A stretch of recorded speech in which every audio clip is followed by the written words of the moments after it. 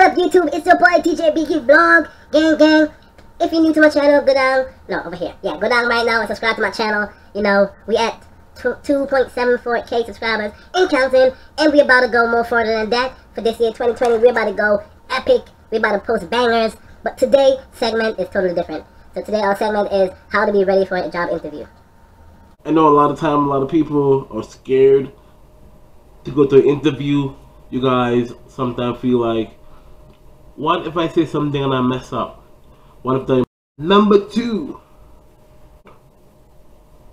When you're preparing for an interview, always look for something that's very formal, something more business attire type. Like you can't walk into a company for an interview and you dress like you just came from a party. You can walk into an interview they dress like you just wake up. When you get that day that you have an interview, make sure you get your hair done. I mean, my hair is already fixed, guys.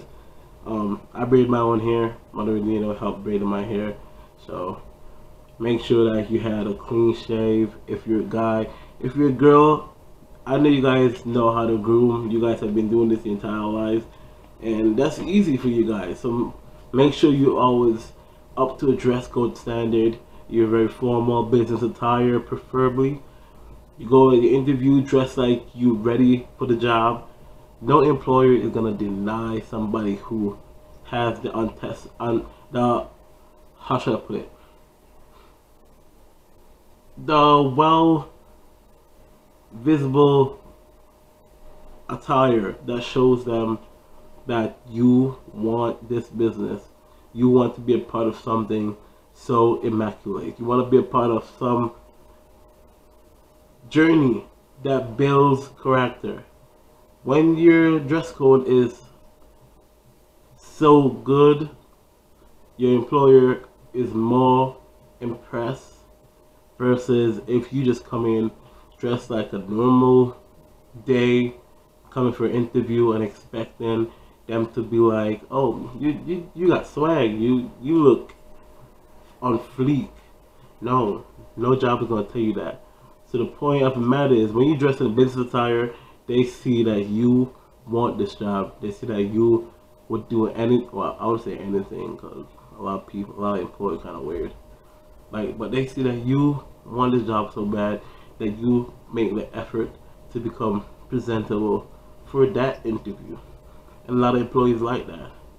And it's not hard being dressed up. You can wear a shirt, um, and a tie, or you could wear a tie, shirt, jacket, whatever you want. Ladies, you can wear business attire. You can wear, um, I don't know how much what ladies wear a lot, but you know, business attire, dress code is always important for an interview.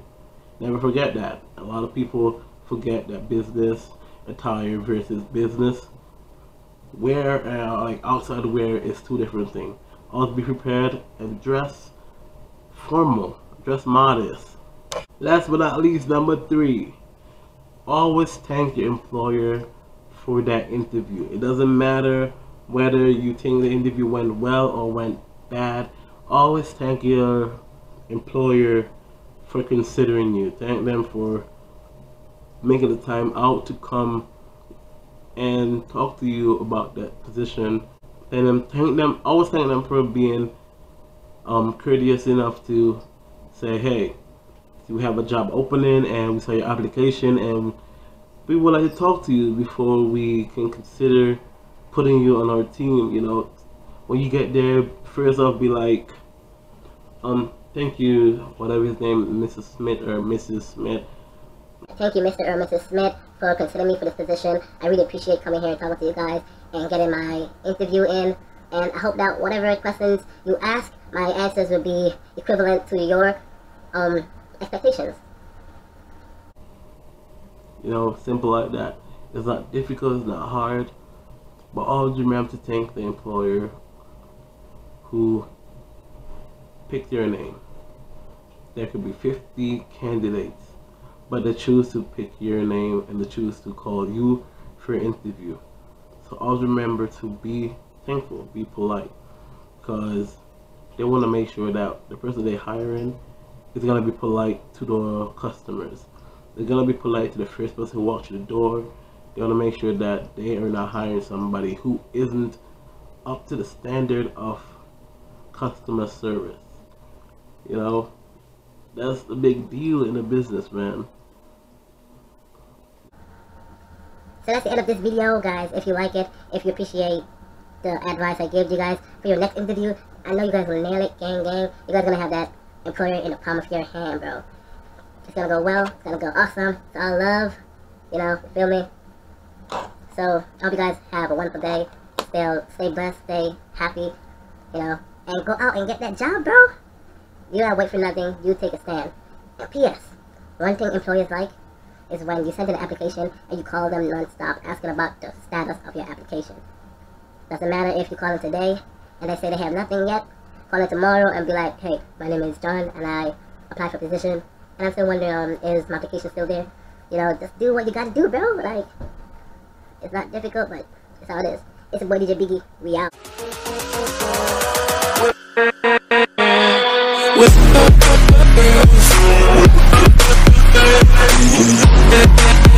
We'll